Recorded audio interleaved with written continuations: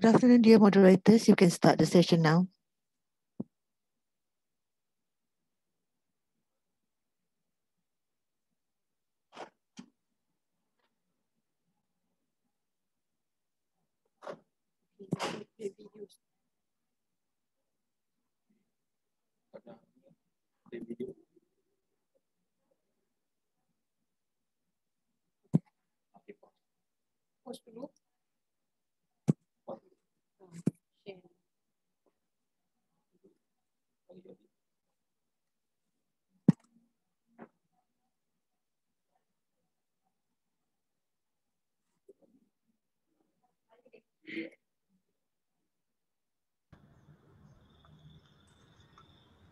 Hi, a very good afternoon to everyone. My name is Architect Loh Mei Ee, and together with me, we have Architect Min, and we are the moderator for this.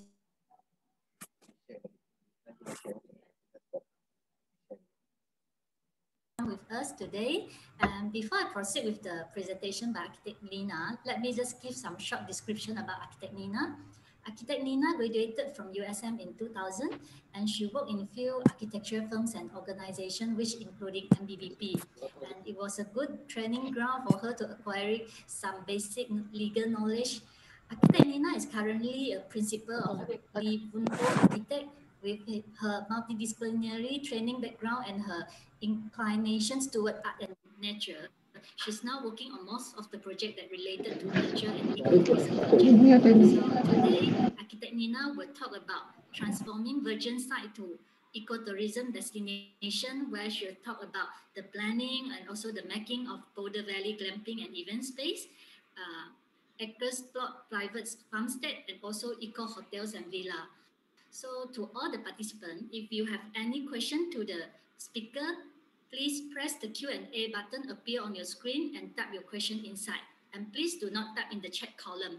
Also, a gentle reminder to all participants, LAM CPD point require continuous participations. Therefore, a sign-in code and a sign-out code will pop up on the screen throughout the section. And at the end of the section, there will be a link that lead you to the page to fill in your attendance in order to complete your participant record. So also we will have a photo section together with the speaker at the end of the seminar. So please stay back. So without further ado, I would like to invite our speaker today, Architect Nina, to present on her paper. Architect Nina, hand over to you. Hi, thank you, Mei. Hi, I'm Nina. Thanks to the Board of Architects for inviting me to participate in the CPD Unlimited talk. I'm very excited about it. And today I'm going to share with you my experiences in the making of ecotourism projects and I've done a similar seminar in uh, Boulder Valley Glamping with a site visit. And today's session is online. So I'm planning to uh, take you to a virtual site visit to the Boulder Valley Glamping and the Acre Plots uh, farmstead. Let me bring you to the share screen and enjoy the video.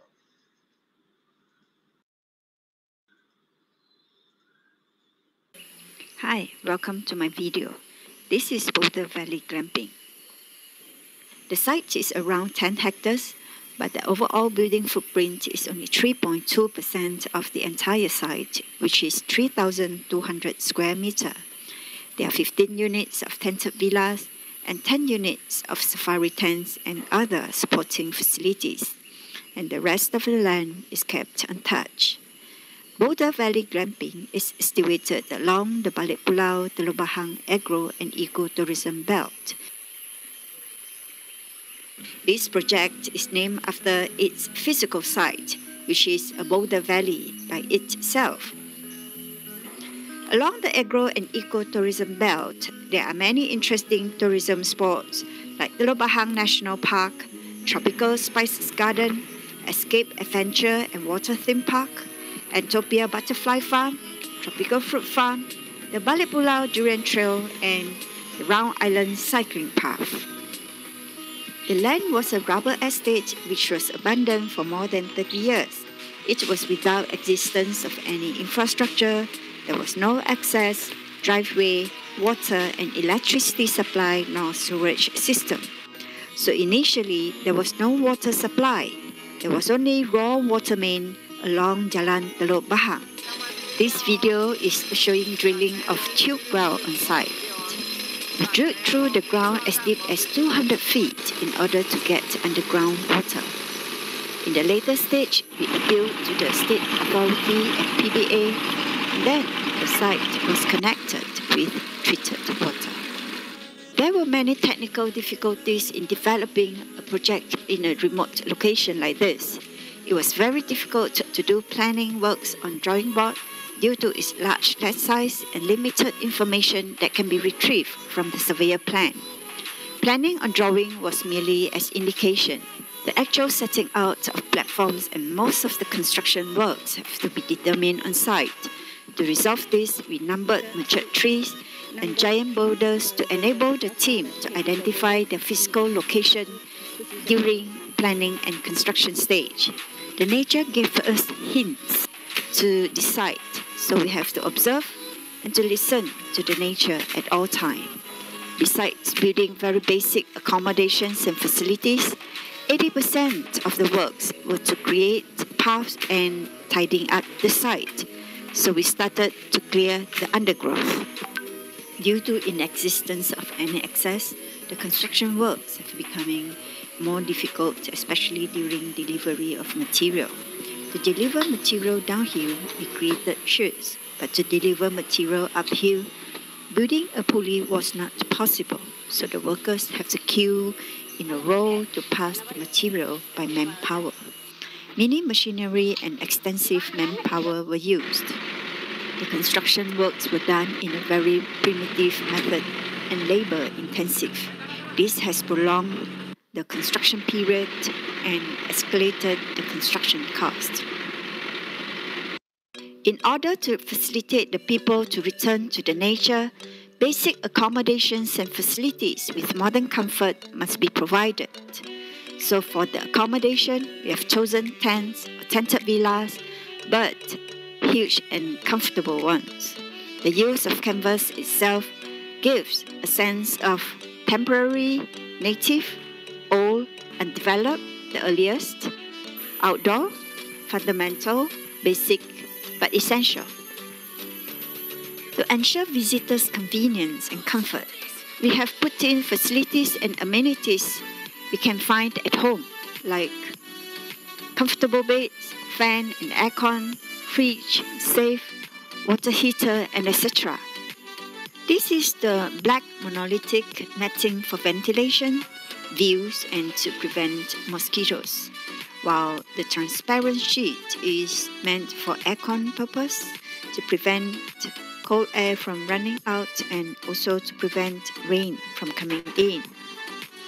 To further enhance the concept, pop-up tents are used at the balcony for the children who want to experience staying in a tent while the parents are enjoying comfortable beds luxuriously in the huge tent. In this project, not much architectural detailing is being emphasized because the priority is always being given to the natural environment. Materials used are mainly concrete platforms, steel structures, prefabricated canvas for tents, brick walls for toilets, glass walls for tented villas, reception, glass houses, and restaurants. Glass walls are used extensively to enable guests to immerse into the nature even when they are indoor. The architectural detailing are intentionally kept basic and free from overdoing, and it turned out to have its beauty on its own way. These buildings are aimed to provide treetop experiences to the visitors. Building platforms are built on stilts. Tents and other building platforms perch delicately on stilts. This can avoid from hurting the fragile roots of the existing trees and to allow the water to run through its original path. The structure can be removed from the site without affecting the jungle original state. Each treetop tent villas and safari tents have a private deck that extends into the jungle.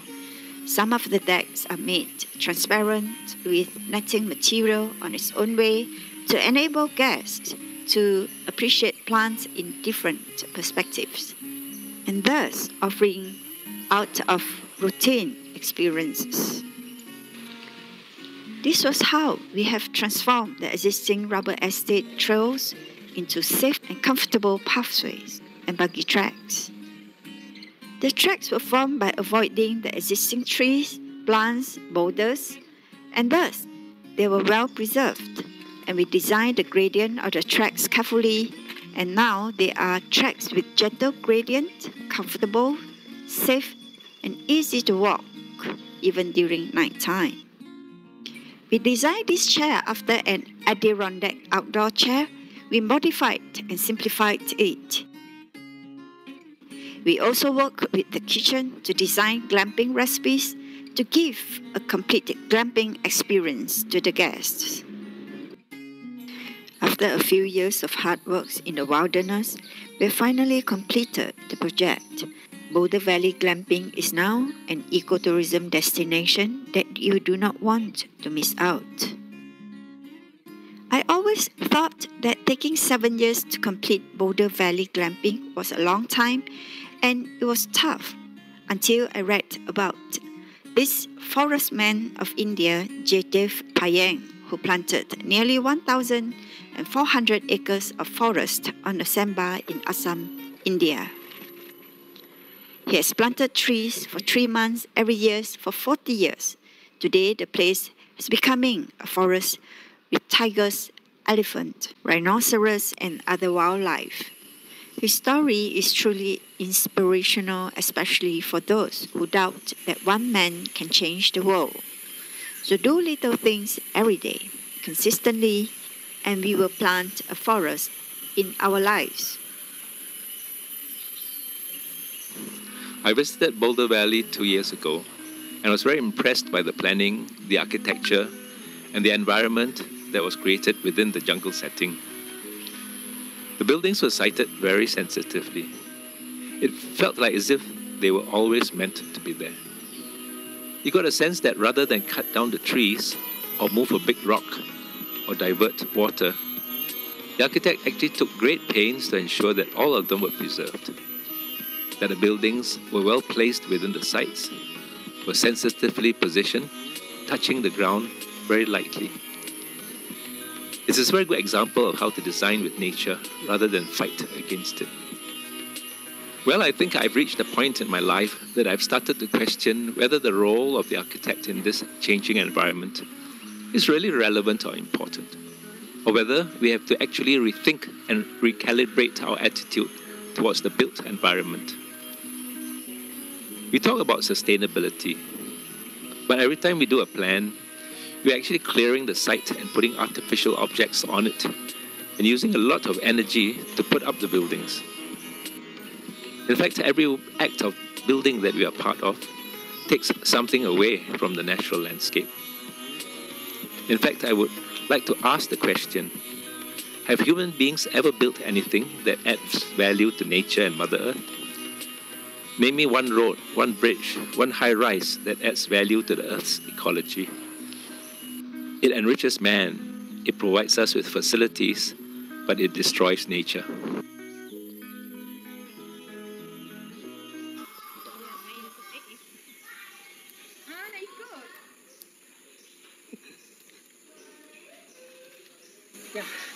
Selamat datang ke Borders Valley Glamping Penang. Saya Idrus Yahya, uh, pengarah Jabat Kementerian Pelancongan Seni dan Budaya Malaysia Negeri Pahang. Hari ini saya enjoy di Borders Valley Glamping Penang.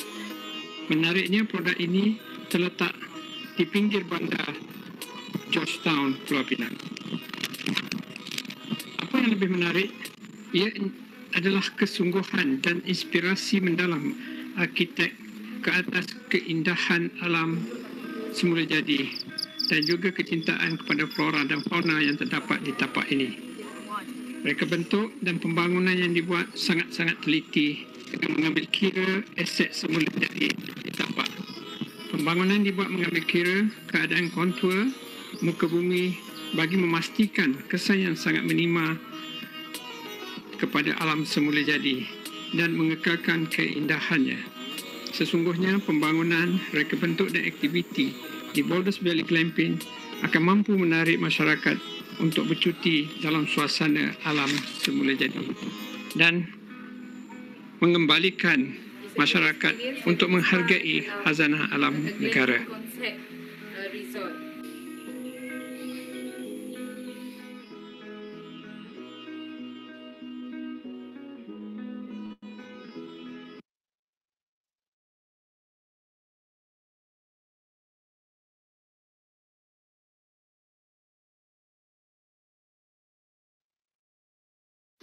Guys, today I'm at Boulder Valley Glamping. Boulder Valley Glamping is an amazing place where I can find a lot of things that I don't see at home. I had my nature class, night jungle exploration, and animal observation. And the tracks are also safe and nice to walk on. This is the map. You can get it from the reception. Before we reach the glass house, we reach the jungle glades. This is where I had my birthday and I had my camp adventure too. It was so cool.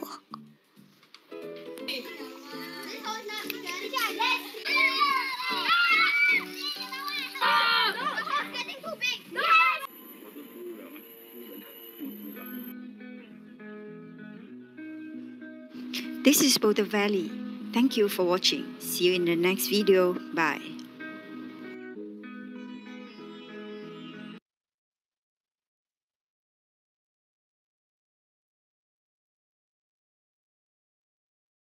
Uh, Tina, probably you need Okay, to Nina, you need unmute to yourself.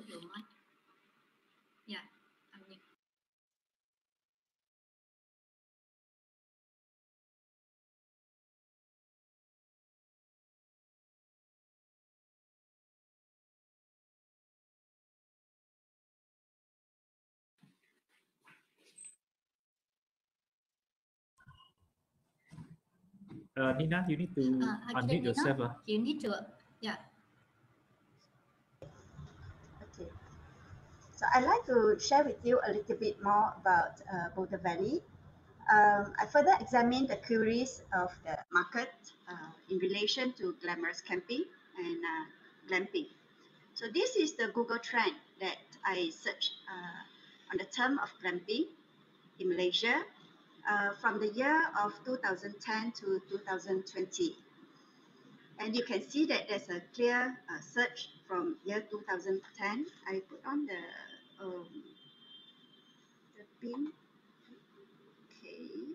Mm, okay, so you can see that there's a clear search from year 2010 to uh, 2020. But there is a drop. There was a drop due to the COVID-19 pandemic lockdown worldwide. So you can see that in year 2013, we have announced that we were the first glamping resort in Malaysia uh, in this scale. But due to the difficulty of the site, we took seven years to complete it from conceptual planning, legalization, implementation to completion. And uh, throughout the years, uh, there were many other glamping sites pop up in the country. And so the statistics were contributed by other glamping sites over the years. So this was what I uh, learned from my belated uh, USM lecturer, uh, Cik Wan, about the niat, laku, and hasil. This is uh, what I am still using it as a tool to examine every stage in conceptual planning, designing, execution, until delivering of the end product. For this project, our niat, our intention is to assist humankind to return to the Mother Earth and to increase the awareness of the importance of nature. So to achieve this, we have to do this. But before that, there are two other uh, objectives, which is we uh, must give the priority to the uh, existing environment and to ensure minimum disturbance to the existing slopes, boulders, streams, and trees, and etc. Because they are the main assets of the site. And finally, we want to develop a bespoke operational glamorous camping.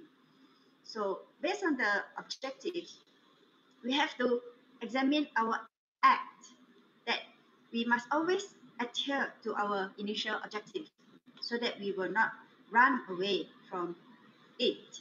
And finally, we can get a good product out of our objective which is uh, a safe and comfortable and easy uh, to uh, be accepted by the people and frequently visited by the people. And then if during the implementation stage, because we did it carefully with good environmental uh, management practice, and we get a good site which is well planned and well maintained, which it achieved its equilibrium at the end. And finally, with a good planning and appropriate selection of materials, good connectivity within the site, um, a, a well-maintained environment, and um, and with these objectives, we finally get a good product, which is minimum maintenance, smooth and well managed, and self-sustained uh, glamping sites. Okay. I need to share with you about this, that a good environmental management plan during the implementation is very important. Um, that you can see that although this is like very insignificant to in terms of design, but this is the most important thing for an ecotourism project that you need to have a good drainage system. And so during the implementation uh, of works, we open up pathways, so slopes have been affected. So we have to immediately spray uh, hydroseeding and then put up the fibromat. This is the best way to uh, prevent from slope erosion. So after three to four weeks, the grass has grown 20%. This is after three to four weeks. Okay, but that depends on the weather and soil condition. For slopes with a very hard soil and uh, very difficult to grow uh, seeds, by applying the fibromat is the best way to help the slope to grow grass. Three to four weeks. And this is after three to four months, the grass is fully grown by now. And after nine to 12 months, okay, and there are many types of hydroseeds you can choose. There are signal grass, Bermuda grass, and Ruzi grass. The one that we are using was Bermuda grass. And then the landscape evolved by itself. We did not interrupt it and we let it grow. This was after two years. And other plants started to overtake uh, the earlier plants. This was after five years. And you can see that the ficus survived and the grass has disappeared after five years, the uh, hardwood uh, trees started to flowering. And this was what happened uh, during the implementation of the project in year 2017, where we are uh, about to launch our project, almost completed the project, but this was what happened during that year. On the 14th of September, there was an extraordinary amount of rainfall happened in Penang and it recorded 270 millimeter of rain in a day and the average rainfall was 25.6 millimeter. After that, um, uh, this was what happened, okay. And not long after that, in uh, the month of November, a freak storm hit Penang again and it created havoc in Penang. We got frightened because our project almost completed uh, and we don't know what to do. This was happened, okay? But because the drainage system in Boulder Valley glamping was uh, properly done, so we faced only minor surface erosion. Uh, and uh, that was because of too much of rainwater uh, on the surface and the trees were uprooted. So this kind of erosion considered as minor. But the thing is that we were frightened by the act of God because of the heavy rain and the freak storm happened continuously. And then we started to question ourselves and whether are we going to the right direction? Have we done anything wrong? Or what shall we do? So we started to pray to God, pray to the mountain God, and say, God, please forgive us if we have offended you, and please show us a direction forward. So what did the mountain God told us? What, did he, what was his reply? Refer to the law of Newton. So where there's an action, there will be always a reaction. So nature will find its own equilibrium. So then we uh, continue to move on to complete the project and uh, we always learn that we have to listen to the nature and it gives hints to us to, uh, to, to, to decide what to uh, do next. And we have completed the project in year 2018, November, and the whole construction uh, period took three years. 80% of the work was to build pathways and jungle tracks. And this was what I've uh, shared in the video that I always thought that taking seven years to complete a project like this was too long and too tough for us. But until I read about this man, uh, the forest of India, uh, the forest man of India, Jadav Payeng, he planted 1,400 acres of forest on the sand bay of uh, Semba in Assam. That he was uh, to save the animals uh, in his homeland. Because after the um, he started uh, planting the plants uh, since he was 16 years old uh, during floods that day. Because that year there was a large number of snakes ashore on the sandbar and after the water receded he found the dead reptiles on the shore so he decided to plant trees on the sandbar and has not stopped even after planting several thousands of trees. He planted, he watered, and he looked after the plants in the process to transform the desert into a forest. And the government, uh, the Assam government uh, forest department only learned about his uh, forest in year 2008 after a herd of uh, 100 wild elephants strayed into the forest. So his story is truly inspirational, especially for those who doubt about that a man can change the world. So you can refer to the uh, YouTube. It's very interesting. So then we continue to create. That is about the Boulder Valley glamping.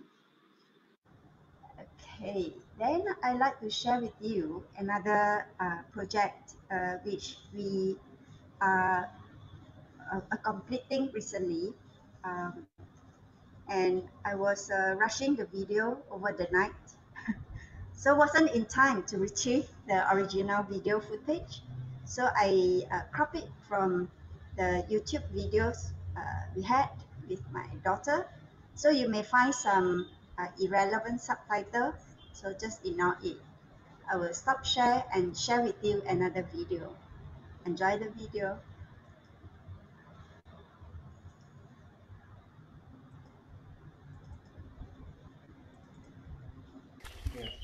Hi, welcome to another video. Recently, we are completing another project. We call it Acre Plot Farm State. It was aimed to promote kampong lifestyle and to create a good relationship between the occupants and the nature, which is the farm. This acre plot farmstead was created not as a commercial project, nor meant for operational business purposes, meaning it is not to be operated as a resort or a homestay.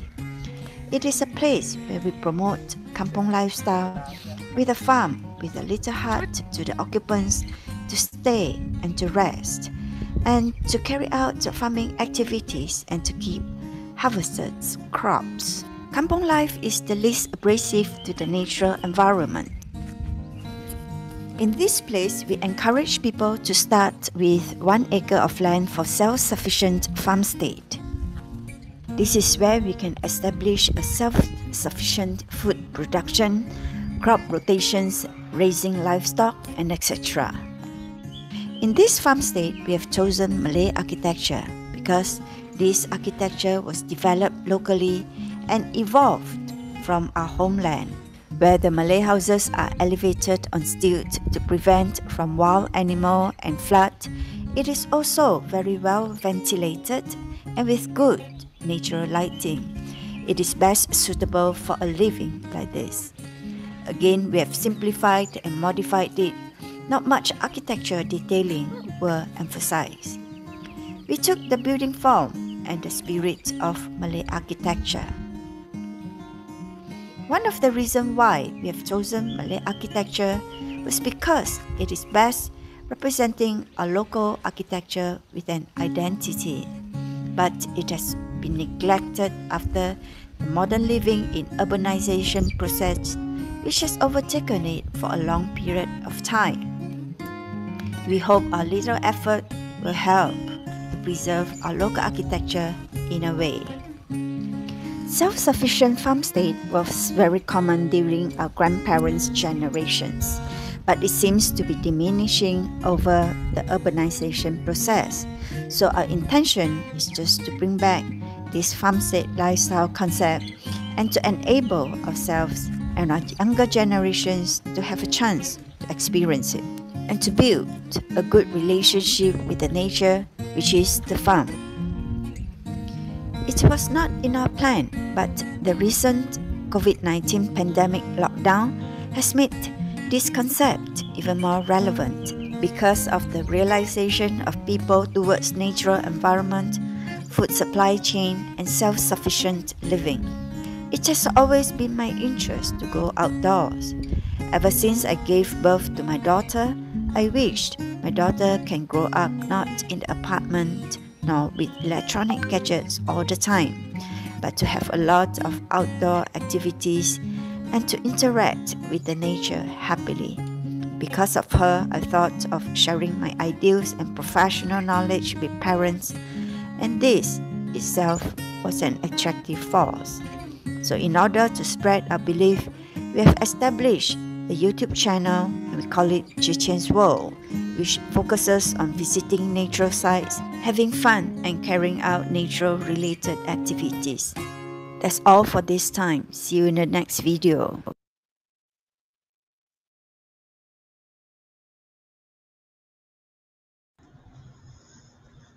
You for watching.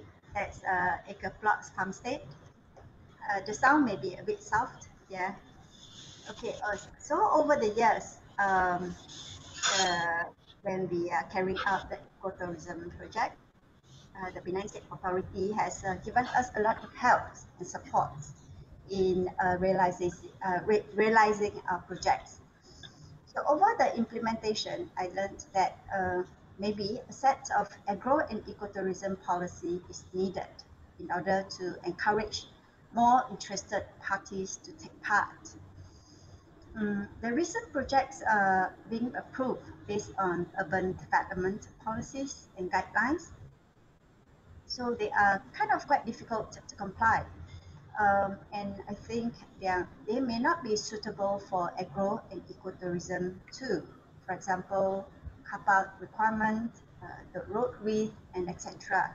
Because these are the requirements that will hurt and destroy the environment. To me, Agro and ecotourism is uh, very simple. It is formed by two words, uh, which is which are e ecology and tourism. So the priority should be given to the nature environment and the green experiences uh, itself. So in this area, we should refer to our neighboring countries like Thailand, uh, Indonesia, and etc um, their openness and relaxation in rules and guidelines uh, enable more interesting uh, ideas, out of the box ideas to pop up.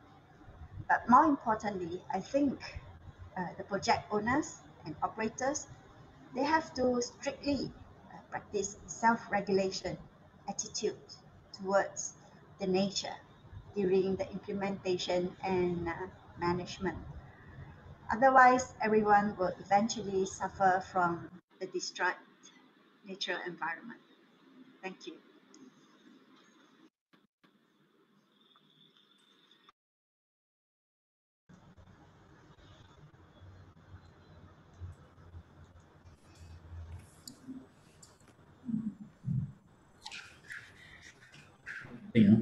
Nina, um, thank you for sharing your works with us today.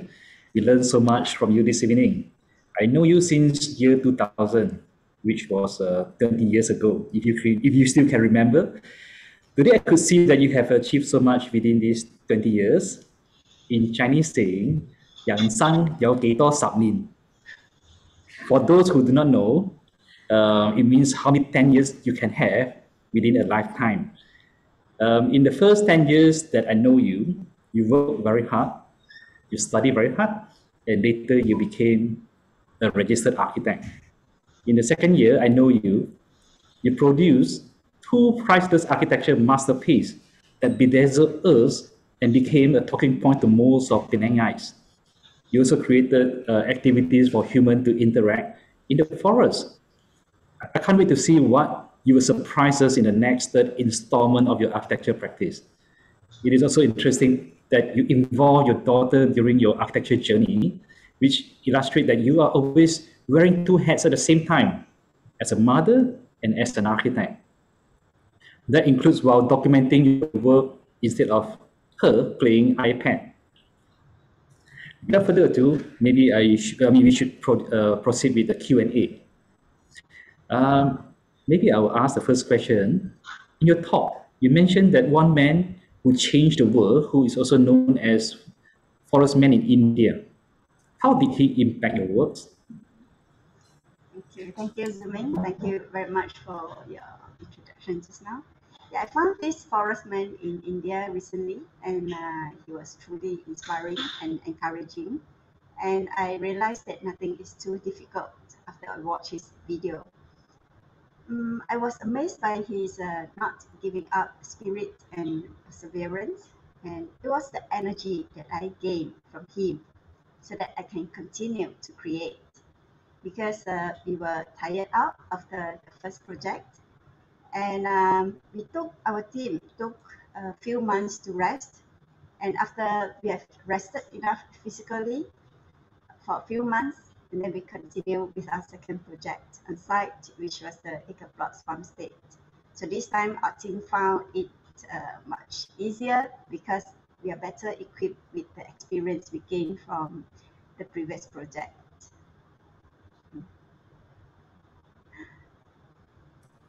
Yeah, uh, yeah, thank you. Uh, thank you, Architect Nina, for the enlightening uh, presentations.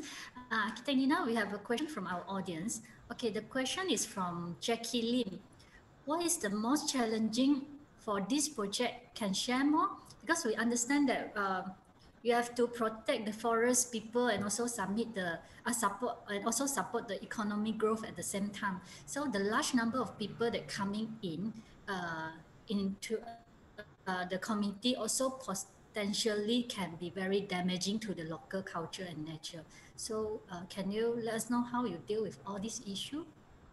Yeah, after the project was completed, we found it uh, fun to recall all the memories and until it was completed, we felt nothing was too difficult.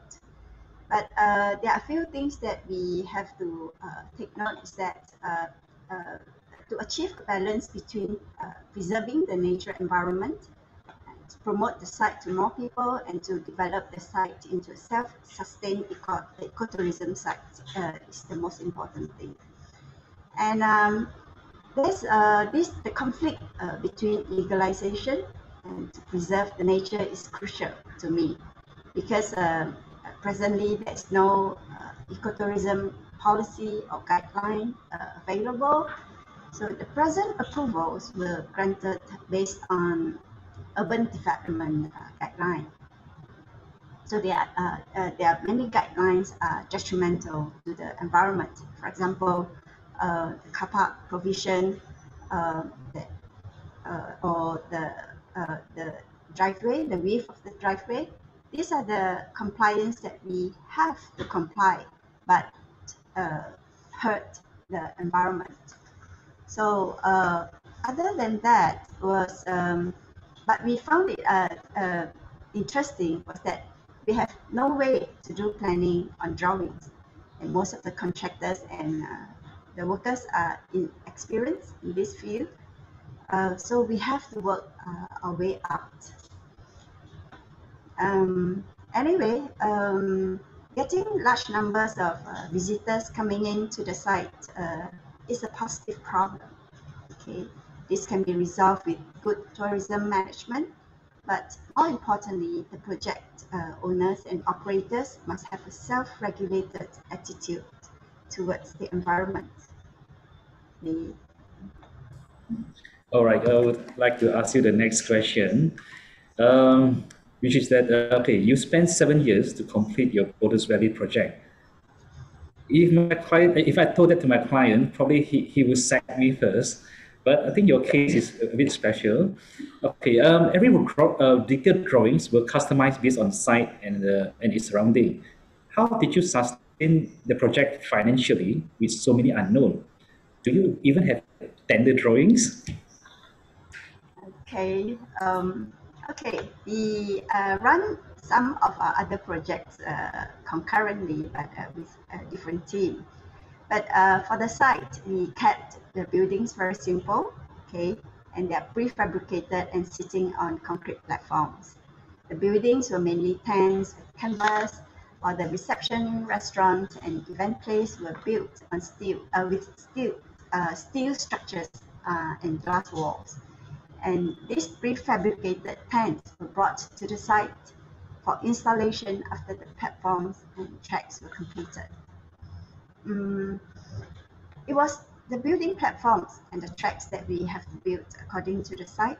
Okay, during the setting out, we have to avoid uh, from matured trees and to ensure the footings are not hurting the roots of the trees. We did have drawings. Okay, we did have drawings for the manufacturers and contractors, uh, but we did not go through any tender process. We were happy enough as long as their contractors were willing to take up the jobs due to the location uh, of the site, accessibilities, and the profit margin they can get from the project. Sometimes we were rejected by the contractors for the reason that their workers were not willing to come in to work in this kind of site. Okay. Anyway, to go back to your first part of the question, we spent uh, two years for conceptual planning two years of legalization, and three years of implementation. This project was self-funding and cross-funded by our other projects initially. Yeah. So you will not be sad. okay.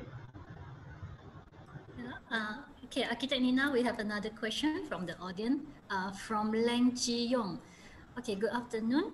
Is the land is under agriculture category? If yes, how is the process of development ecotourism product under agriculture land? Uh, hi, hi, Yong. Uh, thank you for your question. Yeah, uh, the land was uh, situated at a very high uh, sensitive area. The land was uh, agriculture, it is in hillland, and many other factors. So we have to go through hillland annexation, conversion, the environmental impact assessment, traffic impact assessment, geotechnical report, and every almost every every steps of the process you have to go through. So because um, it is in a very highly sensitive area, so uh, we went through a very uh, uh, strict scrutiny by the officers.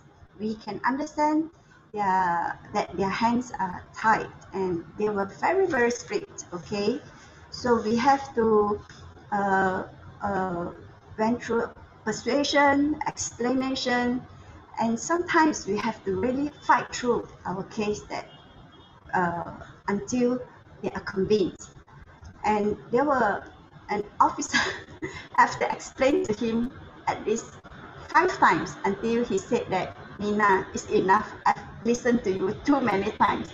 I said, it's okay, it's okay. You listen again and you understand what we are trying to do. That was the process that we have to go through in order to get approval. So, but um, uh, uh, uh, we, we, we find that uh, we also need to find some solutions uh, in order to comply because the existing guidelines are not suitable for the site sometimes. So, but, but the solutions may not be necessary, may not be suitable for the environment, but we still do it. Mm. That was the, the, the, the situation. Um, okay, Nina, are you satisfied with Boulders Valley project? And may I know why? Mm. yes, I do, Sze Meng. Um, it was done out of love, out of craziness, and it was a victory by getting the end product, by keeping our actions adhering to our initial objectives. And you know what? Uh, after four months of the completion, there was a man came by uh, who came by to the site, and he fell in love with the place immediately and insisted to take over the place and the management within two weeks. You believe it or not? He felt that he was acquiring a masterpiece that cannot be repeated and cannot be found elsewhere. We couldn't believe it in the beginning, but it happened. Two weeks, really, it happened. And we took a long time to accept the reality. Interesting to find out more, isn't it? Sze Meng, thank you. Oh, all right, okay. Uh, one, uh, this one, I, uh, uh, okay. If I am a genie and I could grant you one wish, what do you wish that you could have done to Boulders Valley that you didn't or couldn't do? Okay. Genie, Genie, I wish, I wish that uh, the new management will, will continue with the spirit of Boulder Valley Glamping. We were not in time to complete the programs that we planned for the people who come to visit Boulder Valley Glamping because uh, it was handed over to the new owner four months after uh, the completion. So no long, uh, not long after that, we passed the baton to the new owner by taking into the consideration that we are not uh, we are not a service industry based company. And uh, I wish also that uh, Genie that more people would come to Boulder Valley and to enjoy the true nature uh, in a safe and comfortable environment in the jungle setting that we have used our heart to create for them. Sze Meng. I counted two wishes. okay, uh, maybe uh, uh, uh, next question. What's the biggest lesson that you learned from these two projects? Perhaps uh, maybe you can share with us. Uh, yes, simply we must always listen to the nature and let nature take its own course. Uh, what, what, what about like council's um, comments? Do you listen to them or do you listen to the nature more?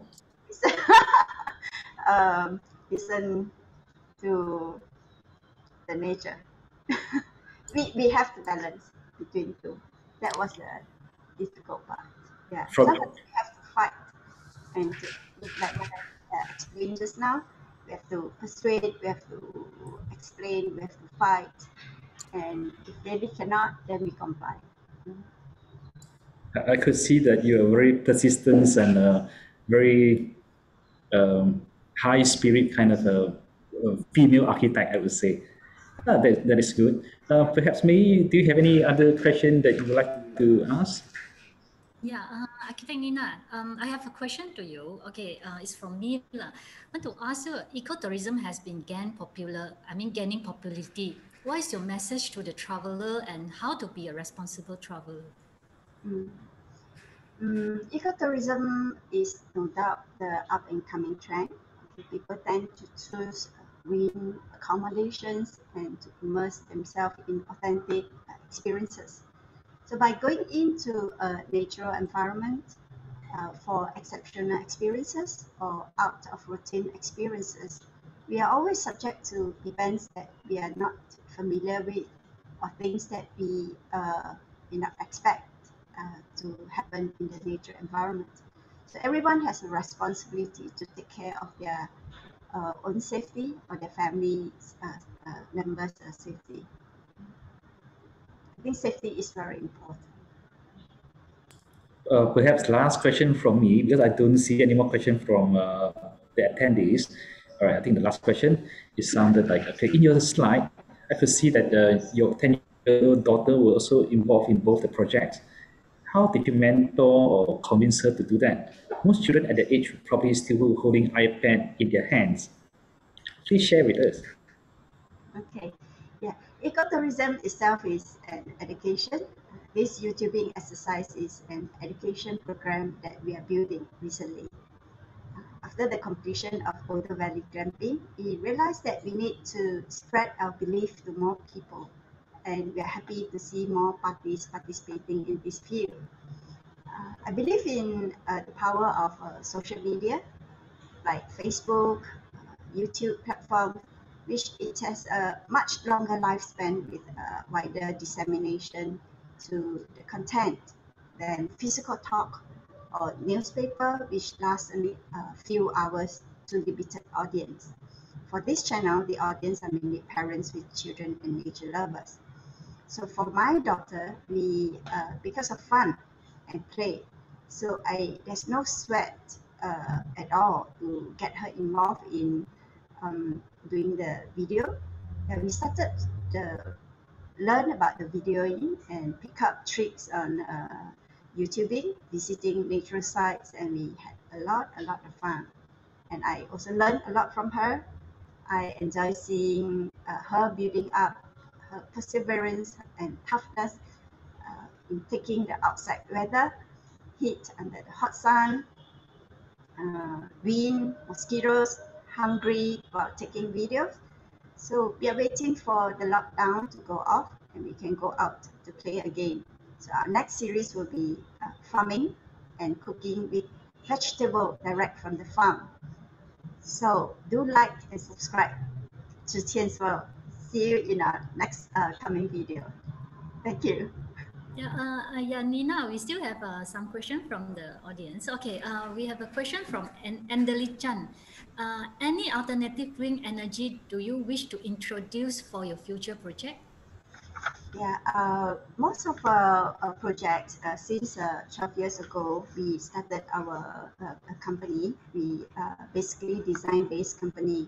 So we believe in uh, passive design, passive design uh, uh, uh, with green features. Passive design meaning like you uh, design to reduce use of energy rather than to use something to reduce the energy. Yeah, Nina, we have another question, very tough one. also from Andeline Chan, with the effort and share, sharing, will there be any effort to restore Botak Hill? yes. Uh, that you have to ask the owner. Yeah, uh, you have to ask the owner. Seriously, I've no. Okay, I've okay. Not, uh, I've, I've not. Uh, I've not give a deep thought about this uh, before. Yeah. Mm. Because uh, in order to open up a place or in order to restore, you need to have uh, a, a, full uh, uh, considerations. Uh, it's not uh, in terms of geotechnical, environment, and many other. All right, um, let's wrap up uh, today's um, sharing session. Thank you, Nina, for sharing with us today. Uh, we hope that you we could arrange more sessions like this in the future with PAM chapter after the global pandemic is over, which is quite soon. Who knows, perhaps I could see you in the middle of jungle when we meet next time. All right, before we end uh, this session, perhaps um, we can turn on our camera so that we can have like group, uh, group photograph sessions. Then off camera. Uh, I think just left the PAM uh, Central. PAM Central, yeah. All right, Pam, you, you, I will capture our print screen from my side. Okay, one, two, three. Done. All right, Nina, thank you again and hope to see you soon. Bye-bye. Thank you all.